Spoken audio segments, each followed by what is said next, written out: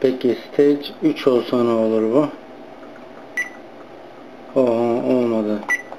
Clear yaptık. Baştan başlıyoruz abi. Time 90 Ondan sonra Enter cooking time diyor. Yaptık. Select power level if desired. Press start diyor.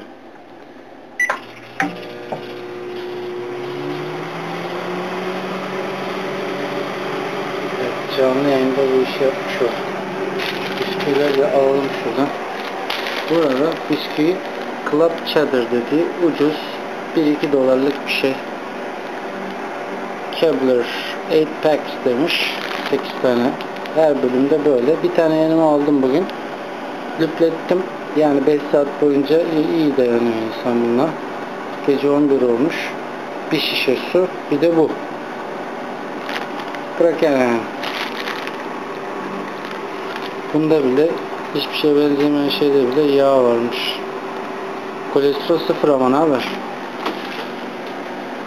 Tavsiye ediyoruz yani.